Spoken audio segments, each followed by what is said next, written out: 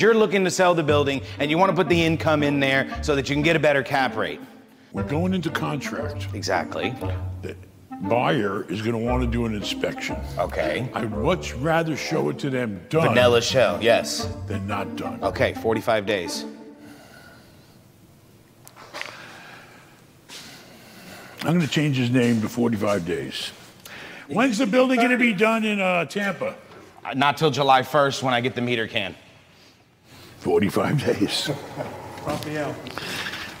It's like I always say, it's hard to get good help anymore. This is kind of stupid, though. I'm gonna tell Daniel. This whole fucking shit should have been ripped down. There's no reason to have all this shit down there. Should have had it demoed. This is not a clean construction site, okay? My construction site on Dale Mabry don't look like this.